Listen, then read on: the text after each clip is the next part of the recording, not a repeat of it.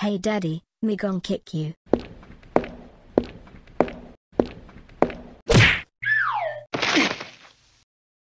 Huh? Nothing happened?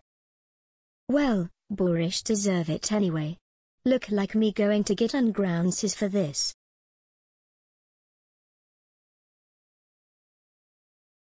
Wow Daisy, good job for kicking Borish. He deserved it.